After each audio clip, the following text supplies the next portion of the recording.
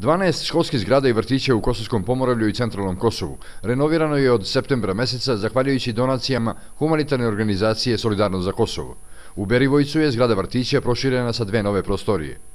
Ovo je jedno proširenje koje će značiti i za roditelje i za buduće mališane koje će tu boraviti u ovaj, jaslenoj grupi. U školi u Zebincu je rekonstruisan pod i uvedeno centralno grejenje. Bilo je dosta vlage, bilo je dosta Eh, da kažem, one memle koja se osjećala u toku nastave, tako da deca nisu baš bila u nekom, da kažem, zdravom okruženju. A pored toga urađeno je još i parno grenje i zamenjene stolarija, eh, kompletna stolarija spoljašna u celoj školi.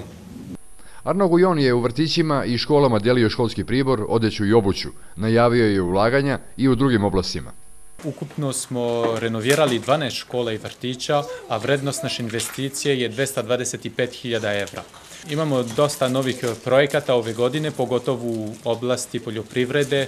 Financijera ćemo izgradnju farme za tov junadi, e, fabriku za proizvodnje konzerva, a također kao svake godine vodit ćemo decu na more u Crnu Goru. Sva pomoć koju Solidarnost za Kosovo prikupi, na Kosovu se podeli preko Srpske pravoslavne crkve gospodin Arno Gujon brine o srpskoj deci dosta dugo u uslovima u kojima se školu, u uslovima u kojima se školuju i ovo je jedan posticaj i njegov predlog da treba e, ulagati ono što je najbitnije, a to je u stvari u našu budućnost.